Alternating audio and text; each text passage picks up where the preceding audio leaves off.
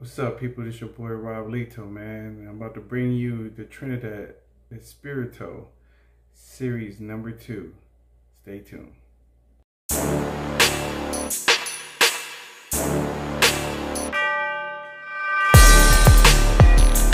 up, YouTube? This your boy Roblito, man, and I am bringing you the Trinidad Espiritu series number two. The origins from Nicaragua, the factory is from AJ Fernandez. The wrapper is Nicaraguan. The feel is Nicaraguan. The binder is Nicaraguan. I love Nicaraguan. The ring gauge is seven and a half by 40. The price, a single can cost you $11.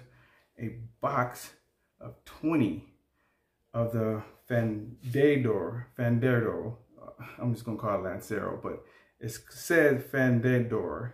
I gotta work on my Spanish, y'all. Please be patient.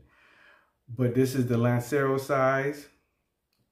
And a box of this can run you between $198. So on that note, let's cut, let's light, let's smoke. Let's cut, light, and smoke. Trying to not cut it too much. Come on, good, good, nice even cut. All right, good, very good, very good. Let's light this puppy up.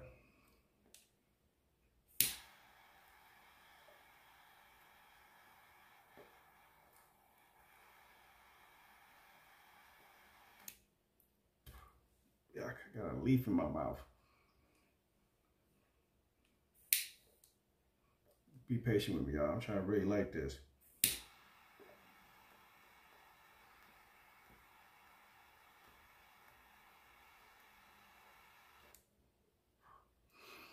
Right. I don't know why these leaves coming loose.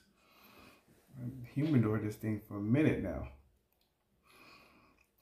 Off top, good earth, nice aroma.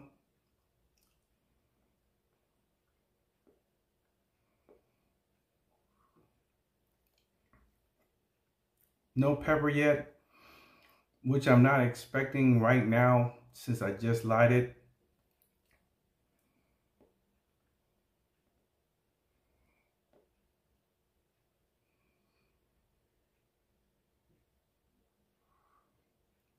Ooh, right through the nose. That's why I got that pepper. Yeah, this is this is about to be a good smoke right here. Now, truth be honest, this is the first time I ever smoked a Trinidad. I smoked H. Hutchmans, H. Hutch, H. Upmans. I smoked Cohibas. Uh, pretty much anything that's pretty much Cohiban that I can get my hands on, I done pretty much smoked it. But right now, I never really actually smoked one of these. I've seen these, but I never paid that much attention to it. And I don't see too many vloggers except for like the high-end vloggers like Lee Mack or Ron Real or Cigar Obsession. Um, or if I'm correct, I think Sisters of Smoke, has, I think she smoked this. I think, don't quote me on it.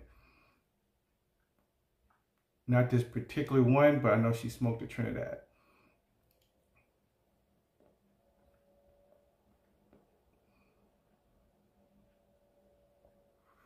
Right now I'm just getting some smoothness.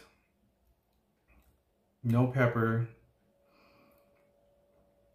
Decent earth. Yeah, a little bit of earth.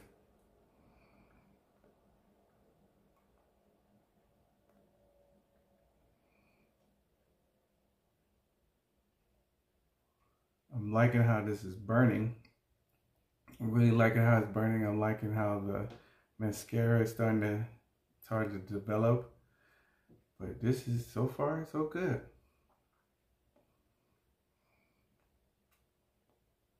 Just want to know how's everyone's day been. So how's your week going so far? Mine's is doing pretty well for now since I'm doing this at Tuesday at 11 o'clock at night Pacific Standard Time. So you won't see this till Wednesday.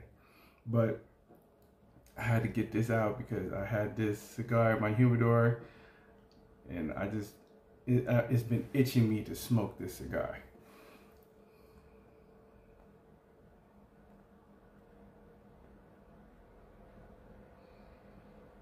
Right now, my rabbit ear is about to go off. So let me get down to the two third of the cigar and I'll get right back with you. Okay, I am back. I just have to apologize. I misread the wrong note. So let's start this all over again. Once again, this is the Trinidad Espiritu series number two. Now the blender is AJ Fernandez and Rafael Nodal from of Altadis, USA.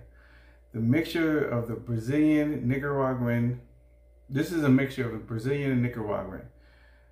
The series number one was released a year ago. This is the series number two. The wrapper's Brazilian, the binder is Nicaraguan, and the filler is Brazilian Nicaraguan. I made a mistake.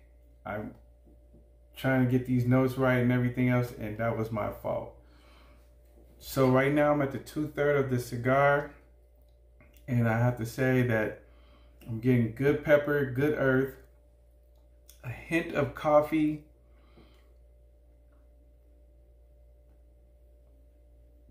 nice smoothness, great cigar. The price is still the same. Like I said, the price of a single is 11. A box of these can run you for like 198 a box of 20.